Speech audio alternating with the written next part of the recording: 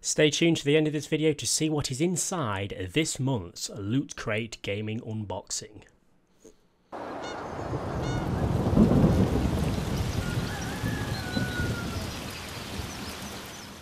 Nice out there in springtime, isn't it? Well, it's about to get nicer. Our new spring events are live.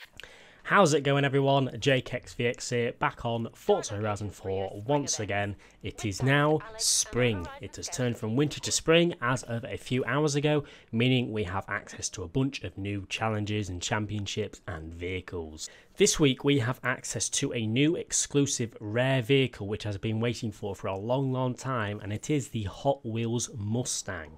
For the next seven days, you are going to be able to unlock this Hot Wheels Mustang pretty much for free if you complete this championship on a certain difficulty. So what we're going to do in today's video, I'm going to show you the best car I recommend to use for this championship, give you a tune, a quick tips and tricks on each of the three races, and then you'll have a look at how the Hot Wheels Mustang can perform fully upgraded it is such a beast. Hot Wheels Mustang was one of my favourite cars on Forza Horizon 3 entirely, and now it's on Horizon 4. So, today we're going to learn how to get it and why you should get it.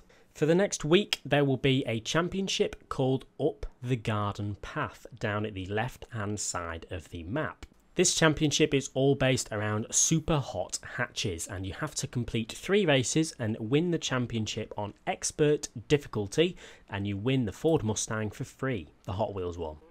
You'll get three races. One of them is a dirt race, which is a lapped one, and the other two are sprint races, which is a mixture of sprint and road.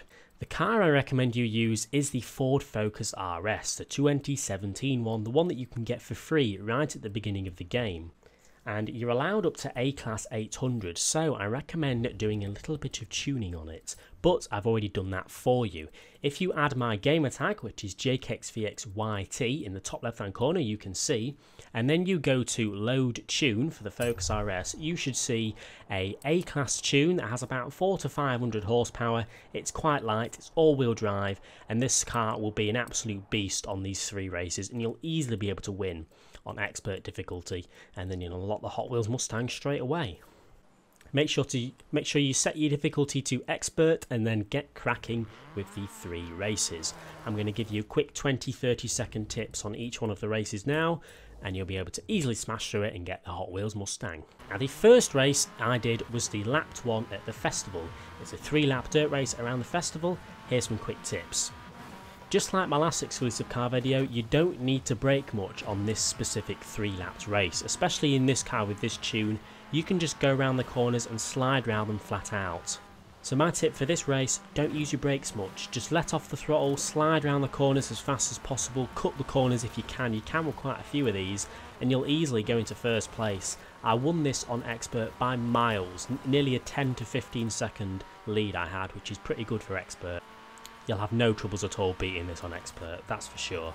The second race is a sprint run. Now this one's quite a long race, like a 4 to 5 minute race, which is quite a long one. Half of it's road, half of it's off-road, and the same for this, just take it just take it nice and quick. Don't panic if you do not get to first place on the road. Once you get to off-road, you do have an advantage because this car can slide around the corners well, it handles well, and it grips well off-road. So for the for the time being while you're on the road at the beginning of the race, don't worry, as soon as you're off-road later on into the race, into the sprint race, you'll easily overtake them and take that first spot. Just take the corners nice and fast, don't use your brakes unless you have to. There's quite a lot of braking lines on this that actually tell you to brake, but ignore them. I don't know why there's so many, because you don't need to brake on half of the corners. But there's another tip for that race. And the third one is also a long one, which again starts on the road and the second half is off the road. If you don't get into first place for the first half on the road, don't worry. For the second half, it's so easy to catch up in this focus. So just take it steady for the on-road bit, and the off-road bit in the second half, you'll easily smash first place. And again, take the corners, don't use the brakes so much, and you'll be fine. Then, after that's all done, you've completed the championship. I've gone through it very quickly. It's honestly not that hard to do. I watched it. I did the race while watching Netflix. It was that easy If you're using the right tune and the right tips, expert difficulty really isn't that hard sometimes, and you will then unlock the Hot Wheels Mustang for free. We're going to have a look at the upgrades now and see what we can do to this beast. Now, as I said, I'm going to tell you this now, do this while you can, especially for the Hot Wheels Mustang. This is one of the best sounding cars in the game in my opinion. I think they've changed the sound to be honest compared to Horizon 3. It doesn't sound as good as it used to, but it still sounds good. But this car will only be available for this week. And like the Hot Wheels Mustang, this is a type of car which will not be available in the Forzathon shop after after this week. So please do this while you can, get it for free, even if you're not going to use it, or if you want to sell it later on for some money, just do it. It's what is well worth it. As for upgrades, you can have a couple of engine swaps, but I don't see why you'd engine swap this thing. It sounds good enough and it's fast enough, and fully upgraded with the engine, drivetrain, and everything like that. It will push just under a thousand horsepower. I wouldn't recommend making it all wheel drive either because just keeping it rear wheel drive, it, it grips pretty well, probably because it's got slicks already. But it's an all round brilliant car to use and I highly recommend you go for it.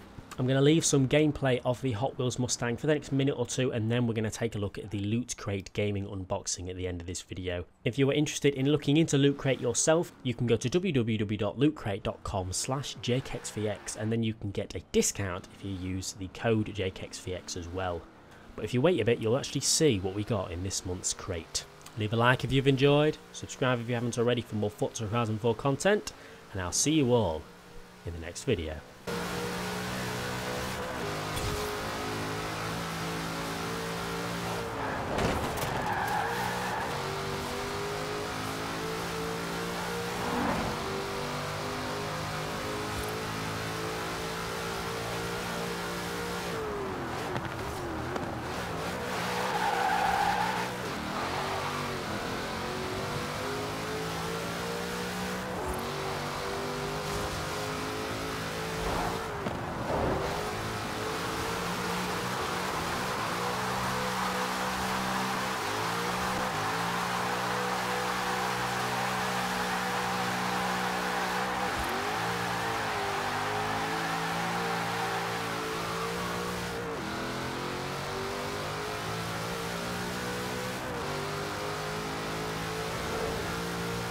Okay guys, it is time to open this month's Loot Gaming Crate.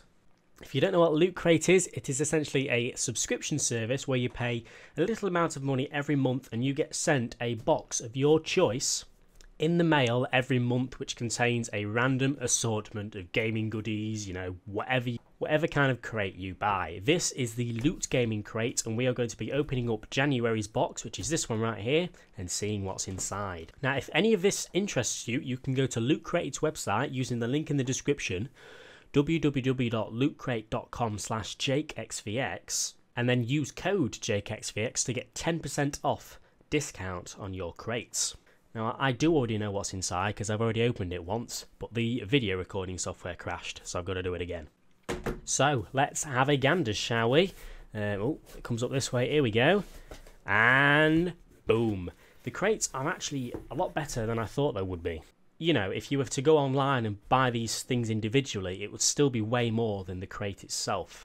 So anyway, the first thing we have is the biggest thing in here is a throw, or people would call it a blanket. And if you can see, it is Gears of War. So that's pretty cool. That's a big blankety item. And then I believe in nearly every crate you get a free shirt as well, which is this one. Well, it's not free, you know what I mean. This month's being a Halo shirt, I believe. Yep, Halo Legendary Crate shirt. Just move the camera a little bit. The next thing, we've actually got another kind of clothing item. It is a little bag. Um, I don't know how you pronounce that. Galaga? Galaga? I don't know. But it's a little bag. It's nice, nice quality as well. It's not rubbish. And then you get all sorts of little bits and goodies as well. We've got a another Galaga pin. I don't know how you pronounce that. But it's a metallic pin, so that's pretty nice. We'll pop that there in view.